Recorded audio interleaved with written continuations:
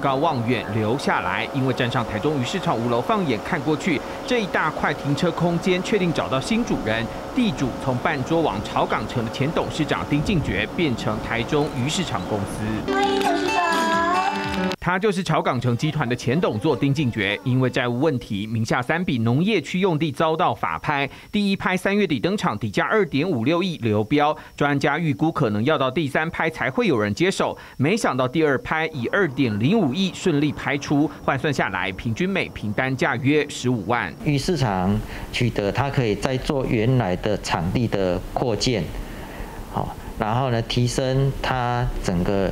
业绩量。以现况而言，台中鱼市场是房东，易主经营的潮港城集团则是房客。台中鱼市场取得三笔土地扩大腹地，以停车使用维持现状。需要超前部署的，除了假以时日，鱼市场如果需要改建，绝对需要备用土地空间。考量关键更与腹地有关。如果这一块停车场让第三人拍定取得，可能会冲击到它的停车使用的便利性。